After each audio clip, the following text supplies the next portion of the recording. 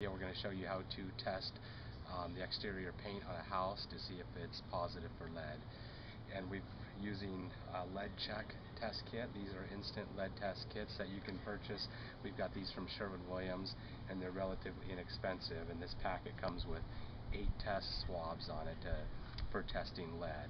And I've actually, we've got a house behind us here that's in the north end of Boise and in this area of these homes, these homes are are 50 years old or older, and so that falls into the time frame where lead could actually be positive in the paint on these homes, and you don't want to do any sanding, scraping, or painting or prep work prior to testing it for lead, because if it's lead positive, there's a lot of rules and regulations you need to follow by the EPA in regards to doing the prep prop properly and disposing of lead.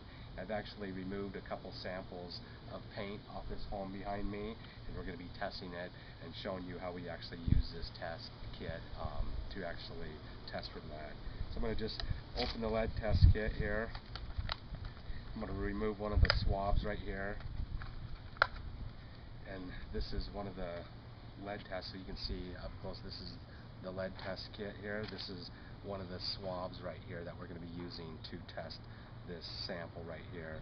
And on these lead test kits right here, the swab, it's got uh, A and a B, and we're going to be putting our thumbs on both of those points, A and B, and we're going to crush those two points. Inside here there's little glass vials. You crush them with your thumbs, and then the chemicals are going to mix, and it's going to make it ready to test for lead. And so I'm just going to take, squeeze down, pop both of those, and now both of them are broken. I'm going to shake twice like this and then I'm going to squeeze gently and you can start to see the liquid, yellow liquids come through the cotton swab on the end and we can see the liquid coming through. Once that liquid comes through, as we're now we're going to take and squeeze and gently rub our cotton swab on our paint sample and if the cotton swab right here turns pink, the area turns pink or red, then it's positive for lead. So as we can see the area right here is pink and our cotton swab is actually turned pink. So that's a good indication that it's positive for lead. If it doesn't turn pink and just stays yellow, then you're not positive for lead. So we'll take, show you another paint sample that this paint sample has. We'll try the back side of this was probably the fourth layer of paint down which more than likely was positive for lead. The front side, that green paint was a little bit newer and possibly is not pos uh, lead positive. So break, crush A and B, shake twice, and then squeeze the liquid and you start to see it come through. And now I'm going to rub this liquid right here on the front of this paint sample and the liquid doesn't turn pink, it just stays yellow. And so stays yellow on the swab, doesn't turn pink or red, and so that's a good indication that it's not lead positive. So this top coating right here is not lead positive. We have the back side, and you can see right here, it's bright pink, bright red. And that means that back side of that paint is lead positive. So this home does have lead paint on it, and you got to be very careful and follow EPA regulations when it comes to prepping and painting a lead, lead positive home. So we have both samples of paint that we tested from this house, and I've got both samples right here. And if you see it get close up, we got two swabs. One of them that's red, one of them is yellow. So one tested positive and one tested negative. And here's our two samples that we actually tested right here. This one's positive, this one's negative. So it gives you a good look of what it's going to look like if the house or the paint that you're testing is positive for lead. And these are lead check swabs that we purchased from Sherwin-Williams. And you can get them from Home, Home, Be Home Depot sells them, Lowe's, a lot of your um, other paint stores and hardware stores, home improvement stores do sell these lead check kits.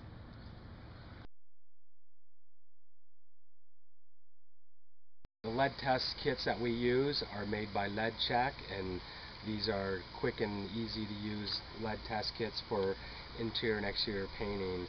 These lead tests, um, instant lead tests, detect lead on painted wood, metal, vinyl and plastic, children's toys and dust. So They're highly versatile. They're instant tests, non-toxic, easy to use, safe, and they're disposable.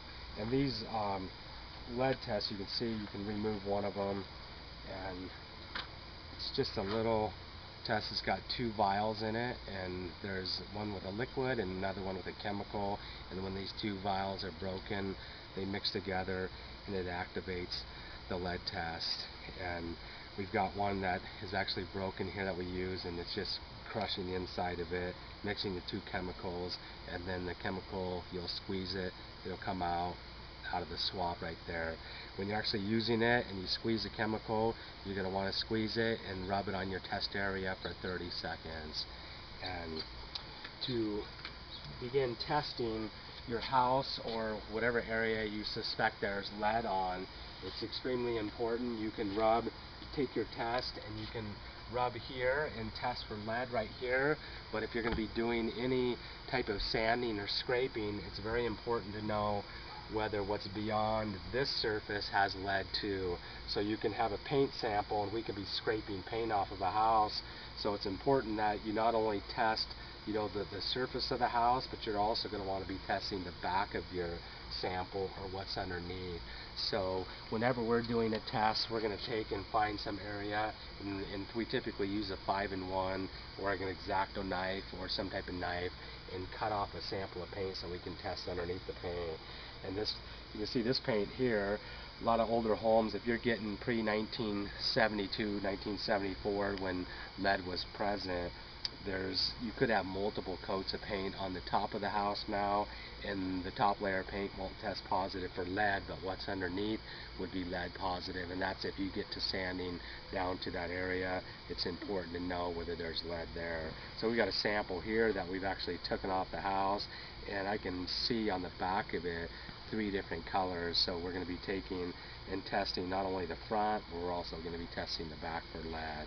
And to test this sample for lead I mean all I got to do is just take I got a vial here a non-activated vial got A and B it tells you lot A it's got lot A and lot B right here. We're going to crush A and B together to activate it we're going to shake it twice it's you're going to see an orange chemical begin to come through the swab and when we're rubbing it on here we're going to rub it for 30 seconds if it turns red or pink then it's positive for lead So I'm going to go ahead and crush both of them. I'm going to shake it twice and now you can squeeze it and you'll see the orange begin to come through the swab.